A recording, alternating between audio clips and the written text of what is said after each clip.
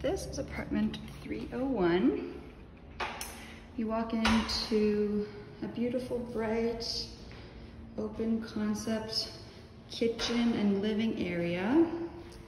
You have a nice big island with space for a couple of stools, brand new appliances, dishwasher. You have a coat closet here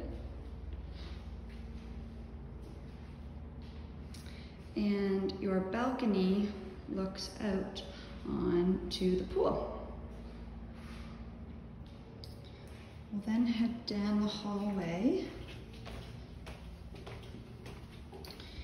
You have a linen closet, lots of storage. And this is the master bedroom, so it's nice and bright. You have double, double door closets and the ensuite with the stand-up shower and brand new vanity and toilet.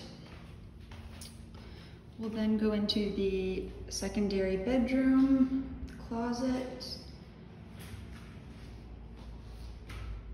and the secondary bathroom with the tub, brand new tub and tile. And this is the third bedroom with a separate balcony. Again, nice and bright, and there's the closet.